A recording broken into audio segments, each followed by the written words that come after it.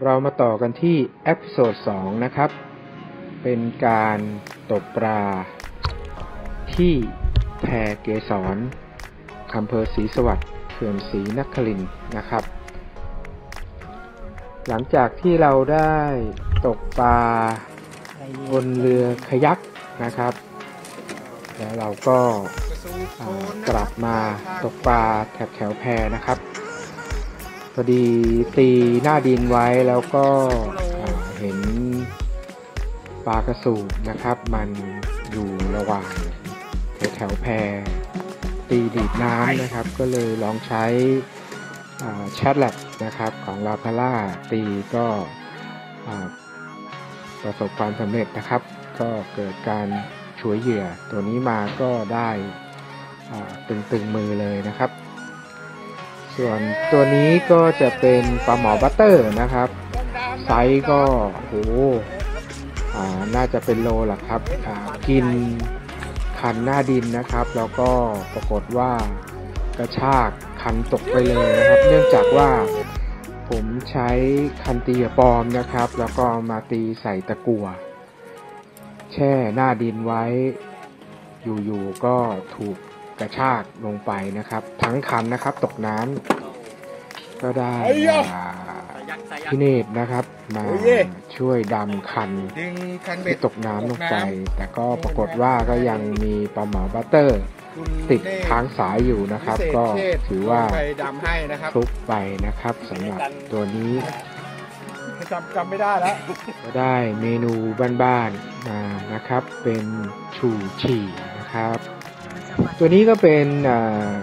เป็นหนูยกชะโดยกนะครับ เป็นชะโดที่อยู่แถวแถวๆเขื่อนนั่นแหละครับ ก็อ่าว่างๆจากการตีหน้าดินก็เลยลองใช้อ่าเหยื่อนะครับ เป็นเหยื่อเหยื่อมิลินนะครับของกบสกลนะครับ เป็นเหมือนลักษณะแบบดาวดีฟนะครับ ก็ตีจิบตัวนี้ก็อ่า ได้เป็นชะโดมาหนึ่งตัวนะครับ เมนูก็จะเป็นอ่าชะโดรวกจิ้มอันนี้เมนะครับนูอะไรครับแม่ครัวขอชะโดลวกจิ้มเยี่ยลวกไปแล้วเนี่ยอืมลงในหม้อไปแล้วหม้อต้มไข่หอมตะไคร้ใบมะกรูดมากเลยใช่ใช่น้ำจิ้มนะ ขอเทสก่อนได้ไหมครับสีตำไม่นี่มันเกินไปพี่ต้งสี ตำถั่วสมันเกินไปดูดิ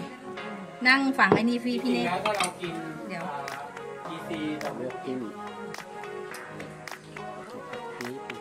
โอ้โหเด้งจริงนี่ดูดิติดสปริงเปล่าติดสปริงเด้เปล่าก็เอาเลยอืมอืมน้ำจิ้มครับสูตรเด็ดของแพรเกสรถึงวัดนี่เนื้อชะโดที่ตกได้แล้วลวกจิ้มดูครับลองท้องครับมา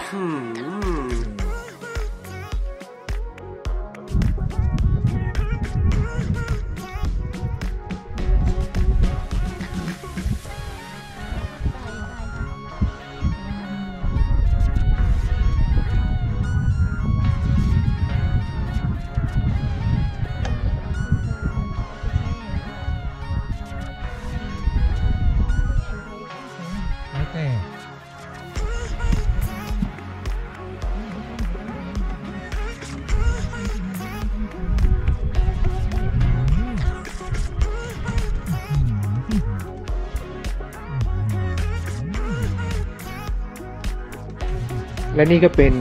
กระสูบที่เราตกมาได้นะครับ เอามาแปรรูปนะครับ ก็เอามาอบลมควันนะครับ เอาไว้เป็นการถนอมอาหารไปทำเมนูอื่นได้ครับ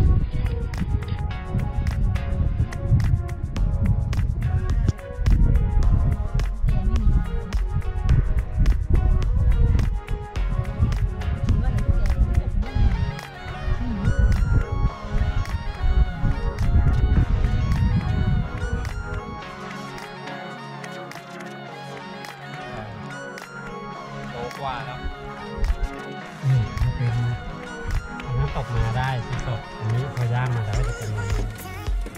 มาสเตอร์เชฟวันนี้เสนอถึงเงียบเงียบเงียบไก่อะไรนะ ไก่อบหรือไก่ย่าง ให้ท่านผู้ชมคอยตัดสินใจเอาแล้วครับ มันอบหรือย่าง เอาสองอย่างแล้วกัน ไก่อบย่างครับ ไก่ย่างอบอะ ได้เหมือนกัน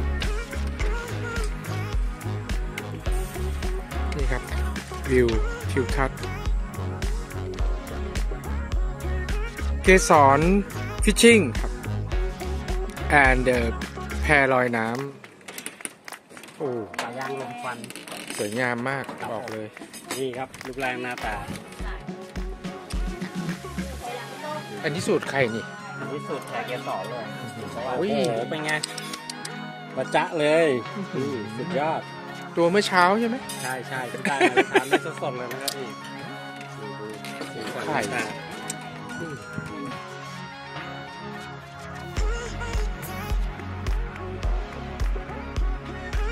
และนี่ก็เป็น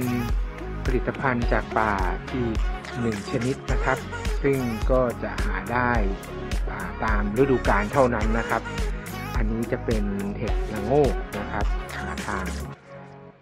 เกสรก็ไปเก็บมาประกอบอาหารทานกันครับ อาหารแพร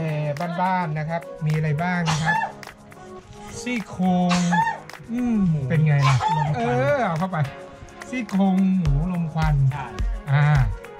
น้ำพริกกะปิพี่เอากะปิแกงส้มชะอมทอดเอ้ยไม่ใช่ชะอมทอดไทยอ่าเอาว่างไปดิ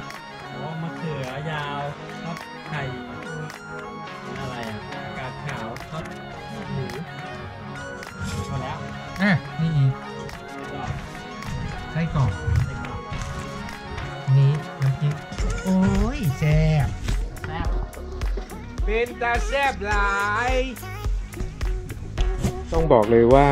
การที่ได้มาเพแพรเกสรนะครับ ก็จะได้กินอาหารที่หลากหลายเมนูมาก ๆนะครับ แล้วก็อ่าบางเมนูก็จะหายากนะครับอ่าเช่นผักกูด เห็ดนานาชนิด ที่หาทานยากว่างั้นก็เถอะครับ เอาเป็นว่าเชิญชวนเพื่อนๆ พี่ๆ น้องๆ นะครับ แวะมาสัมผัสธรรมชาติได้ที่นี่ครับ แพรเกสรศรีสวัสดิ์